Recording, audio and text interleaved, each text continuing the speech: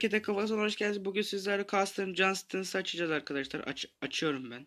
Evet arkadaşlar aracımızı açtık arkadaşlar. Aracımız böyle. Ve arkadaşlar kanalıma abone olmayı ve yorum yapmayı unutmayın arkadaşlar. Şimdilik benden bu kadar. Hoşçakalın ve bay bay.